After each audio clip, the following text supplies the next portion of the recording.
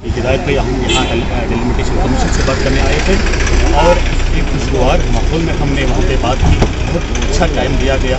जावेद साहब वहाँ पे हमारी रिप्रेजेंटेशन कर रहे थे। तो हमने लिखित में उनके पास एक नंबर दिया है। उसके चंद पॉइंट्स मैं आपके सामने कहना चाहूँगा। पहला पॉइंट जो हमने वहाँ पे उनके सामने रखा, जिसमें बात भी हुई, वो ये कि delimitation process should be carried out without political pressures Dusra point, delimitation should be carried only on the basis of census 2011, not on the basis of uh, topographic, biographic or uh, demographic criteria. Tisra point, during the delimitation process, there should be no discrimination between the two regions of be. Chautha point, during uh, redrawing of new boundaries of uh, Assembly uh, the MLAs of at least last two terms of first vice legislative assembly पांचवा point हमने वहाँ पे discuss किया है जिसमें हमने बहुत ज़ोर दिया है। कि our party strongly demanded that statehood should be restored before the uh, assembly election. Delimitation के बाद हम रेस्टोरेशन ऑफ़ स्टेटहुड चाहते हैं उसके बाद इलेक्शन होने चाहिए।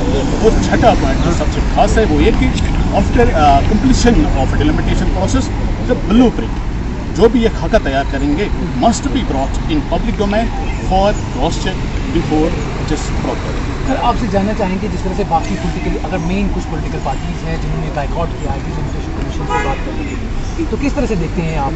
क्या इस डिलिमिटेशन कमीशन जो आज यहाँ पर आए हुए हैं क्या यहाँ पर कुछ खुशगवार माहौल बना और क्या ये समझते हैं कि आपकी बात सुनी गई और इस पर गौर फौज किया जाए आज जो हमने वहाँ पे अंदर माहौल देखा वो बहुत ही साजगार माहौल हमने पाया वहाँ पे। अच्छी तरीके से सबकी बात सुनी जा रही थी। और हम उम्मीद करते हैं कि सबकी बात पे और खोज भी होगा और उनको इम्प्लीमेंट भी किया जाएगा। जहाँ सवाल जिन पार्टियों ने बाइकआउट किया है सबका अपना अपना नुक़ नज़र होता व्यू पॉइंट होता। है इस हवाले से क्या सोचा होगा हम उसमें ज़्यादा जान, जाने की कोशिश नहीं करेंगे। लेकिन ये कहेंगे कि आना चाहिए अपनी बात रखनी चाहिए फिर देखते रिज़ल्ट क्या निकल लेकिन पीछे हटने से पीछे बैठने से इन इस तरह से मामले